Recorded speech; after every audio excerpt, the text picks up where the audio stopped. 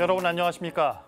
다시 시작된 코로나19 대유행과 경기 침체, 여기에 집중호우로 재산과 인명 피해가 속출하면서 많은 분들이 삼중에 큰 고통을 겪고 있습니다.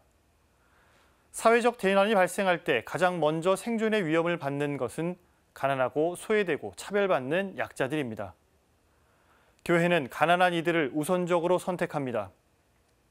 교회 차원에서 이재민과 취약계층에 대한 보다 적극적인 연대와 지원이 절실히 요구되고 있습니다. 연중 제21주일인 이번 주일 복음에서 예수님은 이렇게 말씀하십니다. 너희는 좁은 문으로 들어가도록 힘써라. 하느님 나라로 들어가는 문은 좁은 문입니다. 그 문은 돈이 많고 권력이 높다고 들어갈 수 있는 문이 아닙니다.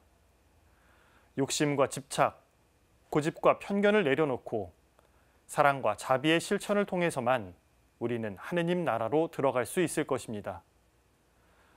자신을 버리고 무관심했던 이들 안으로 들어가 함께하는 우리가 됐으면 합니다.